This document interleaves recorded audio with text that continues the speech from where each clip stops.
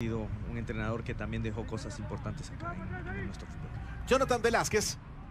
Viene Steven Robles, se detiene el Escuintleco, no sabe para dónde, no se puede combinar con nadie, nadie está abierto. Por arriba, Acuña del pecho, el tiro, uy, cuando iba a tirar, la entrada por detrás, contra remate, gol, gol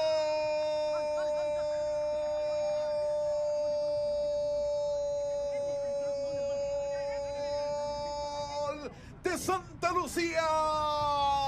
Gol de los Jaguares. Y de nuevo mucho mérito para Jonathan Velázquez que inicia la jugada, sigue acompañando la misma como centro de atracción, como un imán, la pelota le llega, le pega con su pierna hábil, el zurdo cruzando por completo a Freddy Pérez, pero después del gran desempeño que hace Isaac Acuña por llevarse la pelota, lo desplazan, la pelota queda a la deriva y el marcador se pone 3 a 1.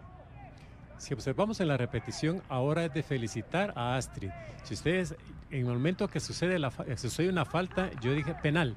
Pero si le vemos también la posición que ella tiene y hace la gráfica de una continuidad, de una ventaja, y esa ventaja como consecuencia es una anotación.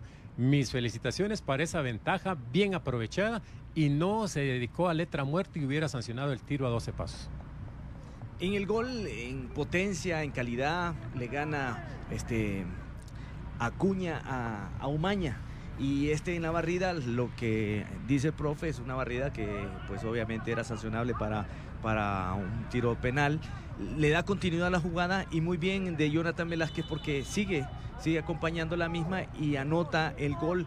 Pero decíamos en casi al minuto 65, 60 eh, más o menos, decíamos que Comunicaciones tenía que anotar porque un gol se le podía complicar. Claro, encuentra el tercer gol en el tiro de esquina el equipo de Comunicaciones al 58 y siete minutos más tarde le anotan. Yo creo que son de las cosas que debería de manejar mejor porque un equipo que por ahí no, no le había ocasionado mayor peligro, ya le anota en la primera intención que tiene en el ataque y eso lo puede complicar de aquí en adelante el partido.